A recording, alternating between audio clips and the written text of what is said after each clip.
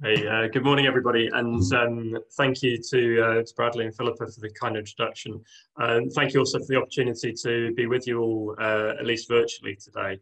Um, very much looking forward to sharing some perspectives with you, um, and hopefully giving a slightly um, wider uh, perspective than we sometimes get from the automotive community on how and where some of these simulations can add value.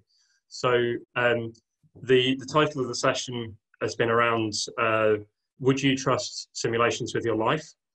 Um, I wanted to think in terms of, well, what, what if we could trust those simulations? What would need to be true and how would we get there? Okay, so um, for the next uh, 15 to 20 minutes, I'm going to share, share some thoughts on that um, and uh, hopefully look forward to taking some questions at the end of it.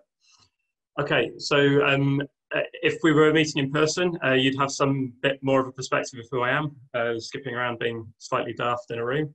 Um, I'm an engineer, my background. I've been working in and around the transport uh, systems world for about uh, 18 years or so. Um, initially, some work in automotive, aeronautics, and then on into um, research, looking at vehicle emissions and building up from there.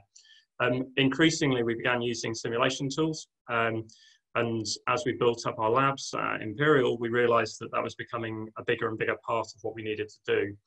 Um, I left, the, left Imperial to join the Catapult in 2014, and then we quite rapidly were working with um, the UK industry and Department for Transport around the next generations of these methods and how they could add value for looking at the modeling intelligent mobility. So the next generations of these mobility services.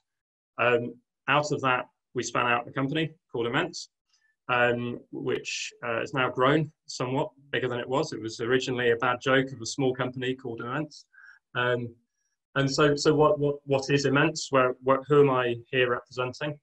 Um, so we're a, we're a simulation company. We, we have built a simulation platform that we make uh, accessible to users from across many different sectors where they're trying to ask and answer questions about uh, mobility systems. So not not the the component level details of how um, the subsystems of the vehicle work or how they interact, but how we look at how millions of vehicles and people interact within our world to deliver uh, effective, valuable mobility services, what that implies for infrastructure, and what that means for planning and the system management as a whole.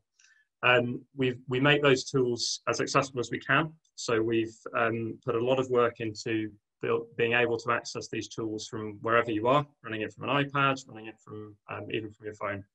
Um, and the key point for us is about empowering decision makers to make better decisions about mobility systems to deliver that, that vision of the seamless mobility system of the future. Okay, so with that said, um, why, why am I here today? So um, I was very uh, kindly invited to speak by uh, Jeff and um, Bradley and the team to give a slightly uh, wider perspective of well, what, what are we doing with these great bits of technology that uh, we can develop and we can deploy? And um, the perspective I take on this and we bring through to it is that transport is all about systems. It's all it's a it's a big system of systems, and it's fundamentally about people and why we look to travel, um, where we look to travel, when, and how we do that safely and effectively. Um, that involves infrastructure, involves the services, involves the wider engagement with society. Um, and it involves lots of cases and it involves lots of questions. And those cases are usually about, is this a good idea? Um, whatever concept or solution has been dreamt up. Uh, and that could be a solution from a, from a politician, or from an engineering team who've come up with some great potential uh, way of solving some of our problems. And goodness knows we have lots of problems in transport. And one of the key points here in the simulation session is that the big value proposition here is about formalizing testing and being able to repeat it and being able to do it at scale. Um, and my key contention here is that simulation is an absolutely core enabling capability of that not just in engineering development, but in all of the other stages around that that help you develop and deploy the right solutions in the right places at the right time uh, to do so in an effective, cost effective, safe, uh, profitable, hopefully, uh, way. Okay. Um, the other important point to make up front is that simulation is it isn't um, it doesn't give you the answer. It gives you a set of tools to explore implications, to test um, what alternatives, what could happen. So they're decision support tools. They're not decision making tools. Um, and they um, one of the challenges in the um, uh, title of the series this morning is would you trust the simulation to decide for you You'd have to be very very very confident in everything around it and i want to share a little bit about how we think about some of that one of the subtitles is it time to trust simulations with our lives so i want to break this down and share a few few thoughts on it as we go through hopefully spark some conversation so let's start by talking about our lives because that's quite an important part of this. So I want to introduce a, a group of people to you, and these are sim people. These are um, they're a lot like you and I, and everybody else we know. Statistically, they're exactly similar. Um, but they live their lives in a digital world. They're constrained to undertake their activities um, according to rules that we set for them um, and that we configure based on all the data that we can, can glean about how behavior is made. Um, and there are lots of these people. There are millions and millions of them, billions around the planet. And they're different and they have different habits and behaviors in different places. And in product development, you would think of these as your market, your target market, your users. So we actually do have quite a lot of data about how we live our lives. And this is something that's improving massively um, year on year at the moment. We have far better insights and information about what we do and how we choose to do it. Um, and many better methods of uh, anonymizing that and turning it into really consistent, useful information.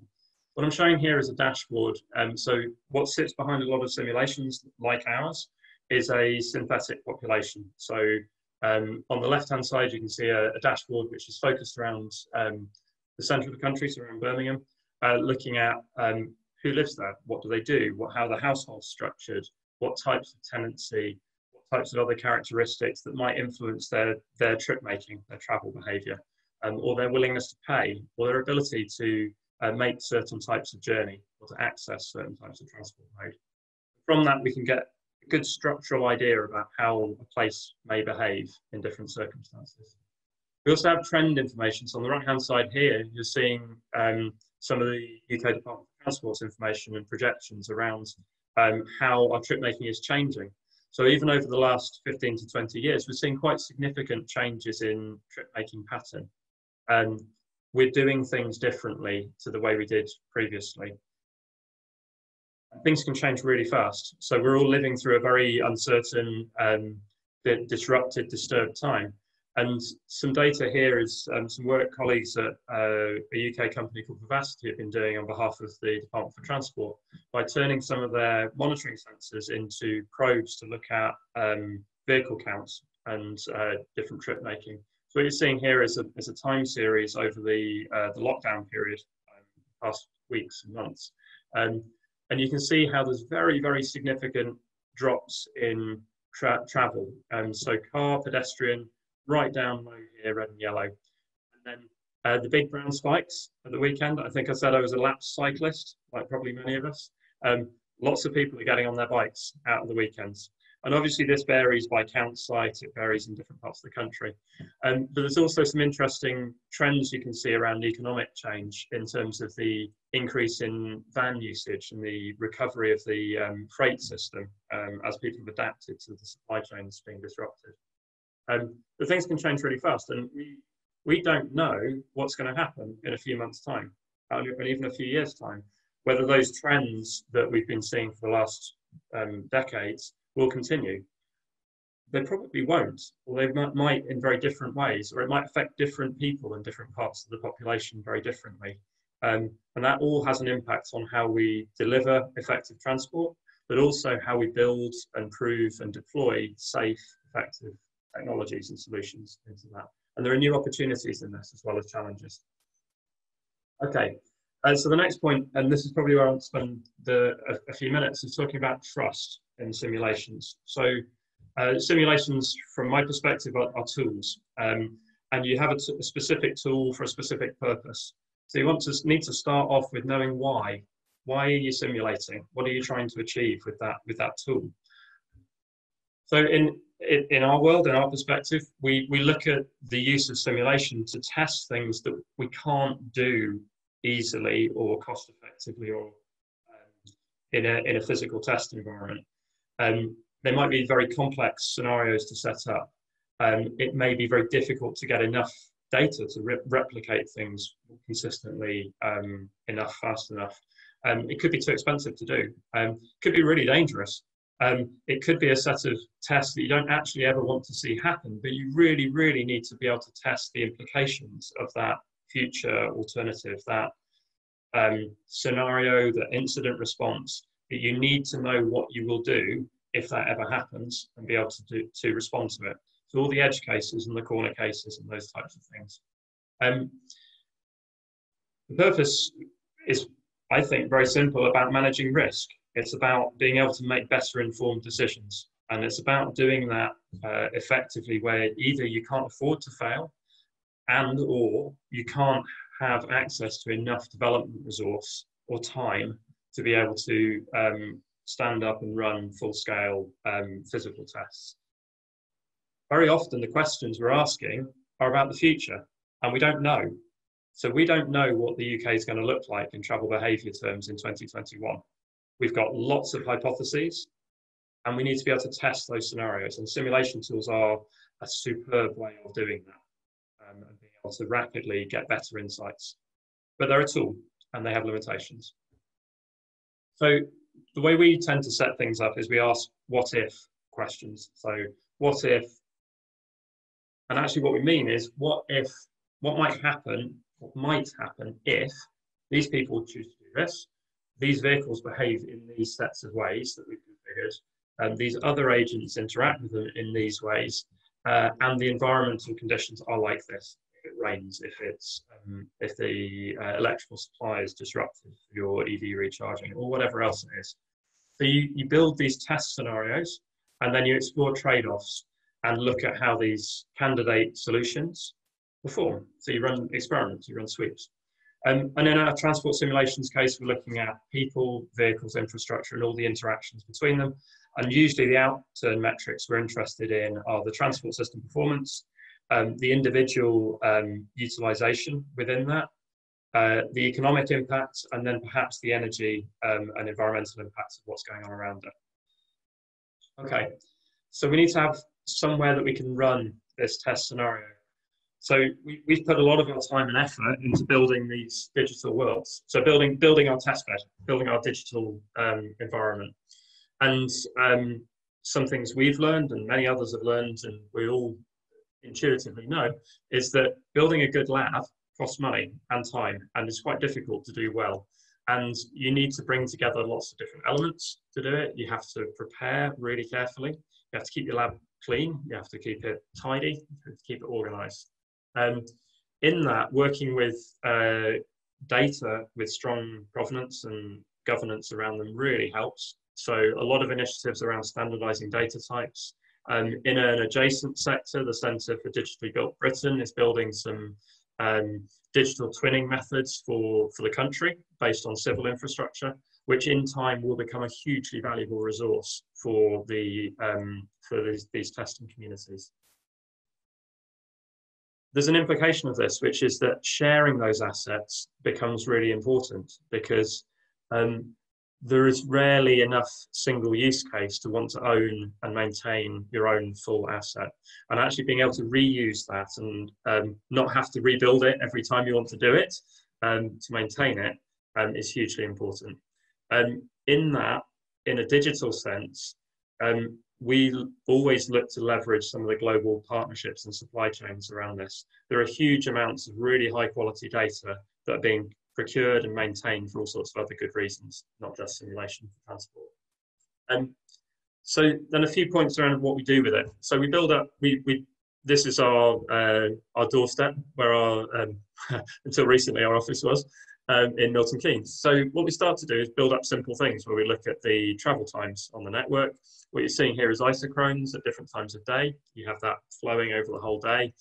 Um, and then we run tests. And here you're seeing a really simple illustration of um, a set of routes and trips at different times of day and seeing whether we recover known effects. So you see, uh, we tend to get congestion building up in this part of the network in the morning. Um, so we get um, vehicles rerouting their trips around it. So far, so good. Um, clearly, that test on its own isn't enough to prove that you've got anything that you can trust. And it's all about building layers of trust in those methods. So we've worked quite extensively with teams in the in the US um, and partners in the States. And so a lot of the mobility innovations have come out of um, organizations in and around Silicon Valley. They're certainly keen to test things there. So we've been looking at um, the same plot, um, midnight, rush hour, um, travel times in the Bay Area, and then looking at whether we recover again, simple, expected, known effects. So here you can see we're picking out Toll Plaza on the San Mateo Bridge, where we are getting vehicles coming down to the stop consistently and recovering that sort of behavior. Again, encouraging. This is something that's running with millions of entities and is consistently reproducing it. So, so far, so good. We believe it a little more than we did.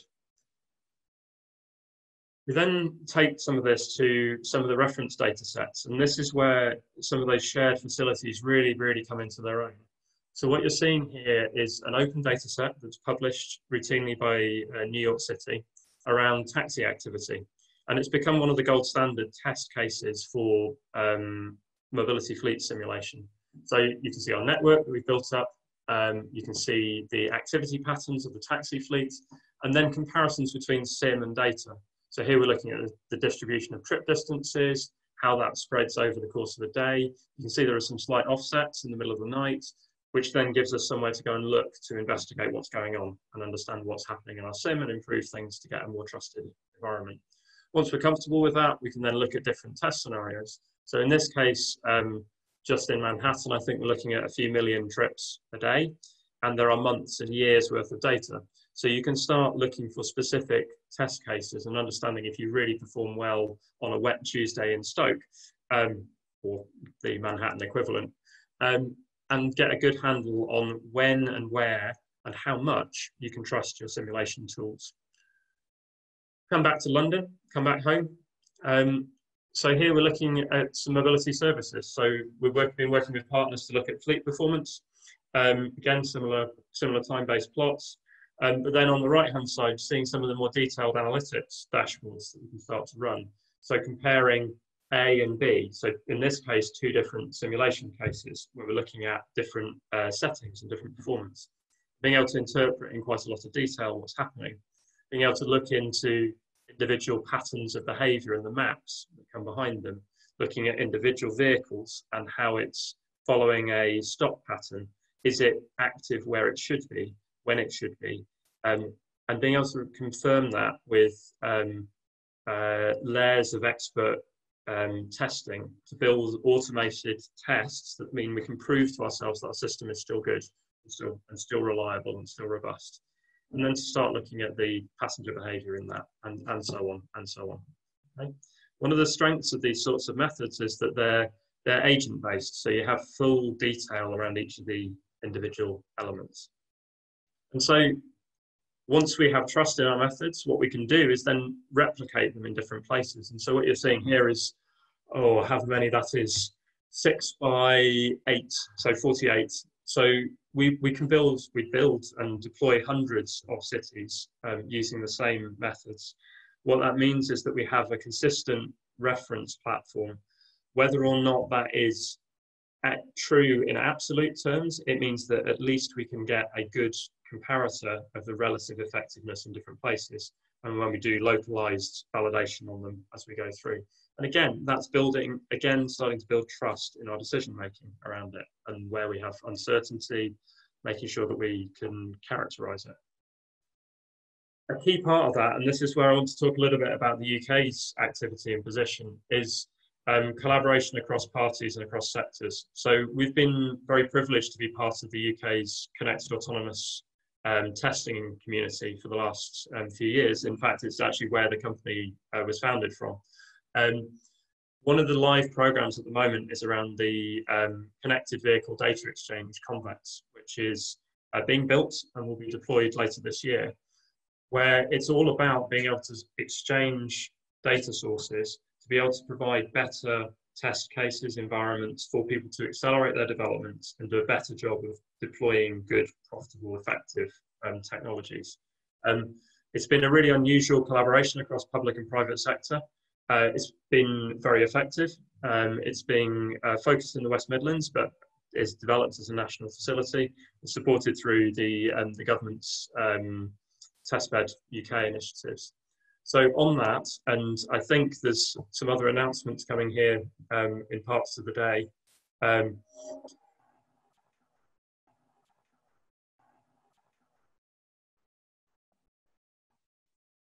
okay, so what what what you're seeing here is the um, the trailer video for some of the uh, developments across the wider UK testbed ecosystem. So Convex is just one part of um, a, a, network of facilities that many of you will already be familiar with or party to, um, which is helping to us to give the test infrastructure, both physical and digital, to enable people to come and test their solutions in the UK and to enable UK technologies to be taken out to a global global stage through various connections. Um, there's a series of um, uh, video explainers and talks that are being launched from this morning. I think we're two hours past the press embargo. So um, I don't know if that counts as a world exclusive, but um, I think I'll take it. Um, but the principle here is that these assets are of much greater value by being shared and resourced and supported across the community. Um, oh, okay, so the last point I wanted to ask is around, um, is it now? Is it time to trust these simulations with our lives? And so mobility is changing very fast. There's been enormous amounts of material written over the last years. There are intersecting use cases, both for services, the infrastructure operation, and for the strategic planning, that all can make use of the same digital test environments. Okay, so some of the, some of the scenarios where we, we would have we would have perhaps done well to stress test some of these solutions before we rolled them out. Um, and then some final concluding thoughts. Um, I'm conscious I'm up at time. So um, simulation tooling in all the different forms is a really important part of managing risk and decision making. Um, its value lies in us testing things that we can't do in other ways and doing it faster or cheaper or better. Um, I have a, a, very strong personal belief that um, making those tools more accessible, um, more reusable is a key part of us um, achieving our objectives around technology deployment. And I think a final point um, for the from this UK perspective is that we really do have some great capability here in the UK, which we should be proud of, but we should also use rapidly to help us make better decisions as we're navigating some of these really challenging times. Um, and that's all I had. That's perfect. No, no, thank you very much indeed. That's brilliant. No, really, really, again, a, a different take on things for us. Um, but but no, very very much appreciated. Now we've got lots of questions. Um, but, but again, I think we're going to have to be relatively mean um, for you, and, and then and then hopefully hold more questions for the panel. But we've got two. Um, one from Raghu, and we're going to again be brave and try and bring Raghu on to uh, ask his question direct. Are, are, you there, Raghu? Hello, can you hear me now? Ah, yes, we can. Thank you, Raghu. Go on, go ahead and yeah. ask a question, Robin. Yeah, uh, yeah. Good morning. Uh, thank you very much. The the presentation was really good. Uh, my question to you is uh, simulations today depend still a lot on the test data for validation and verifications. Would that change in the future? And if it does change, then to what does it change to and would it impact? And can we say then that we trust the simulations? It's, it's a really it's a really good question, Raghu. And um, obviously simulations are bound up in the in the data that goes into configuring the models. Um, what what most in most cases what we do is we do two stages. We do a backcasting effort to compare to measured data, so we can gain trust in our model, in our methods, and how they're behaving. Um, but then actually many of the use cases are forward looking and nobody's got data about 2025 yet. So um, if you're looking into those, uh, what if something is different, is structurally changed, um, for all their flaws, simulation tools are a really important part of how we ask those questions and get useful answers. Um, but the data is critical to get trust in the underlying methods. Okay, thank you. Thanks, Reggie. Thanks very much for your question. Philippa? Great, yeah, and now I believe we've got um, a keynote from yesterday. Uh, Neville Jackson, great you've come to join us, and I think you're going to ask us a, a question. Uh, hi, Robin. Very nice presentation. Uh, just a question about the ability to predict accurately. So you quote a number of use cases that you use to validate the model, but always with validating models, we have to make assumptions. And it's very easy to tune those assumptions to correct for any errors you might see in past data. Yep. What, is, what is the future? How do we avoid having to do that? How do we make predictions that are more accurate? And can we predict confidence limits?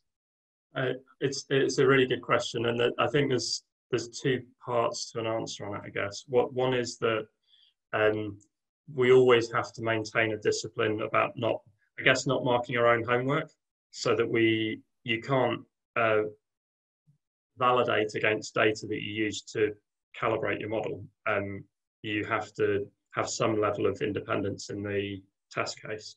Um, so it's why data sets like the New York taxi set are so valuable because it's such a large resource that you can very happily build and test and calibrate on one part of it and then test on a completely independent part. What we then try to do is transfer those methods to a completely new geography and or a new uh, test case and environment and get some level of confidence in the comparison.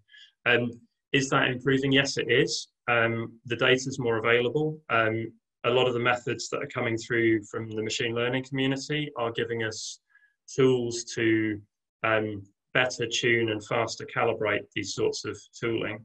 Um, but we still need to be really mindful about where we're um, extrapolating or interpolating um, and what the implications are. It, can we get there? I, am not sure where there is, but we can. We're definitely making big strides in that, uh, and I see that continuing for some years to come. Neville, is that okay? You happy with the answer?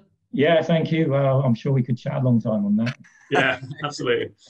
No, Neville, thanks very much indeed. Thanks again for joining us today as well. Robin, thanks ever so much. And obviously, we'll hope to welcome you back shortly to be part of the panel.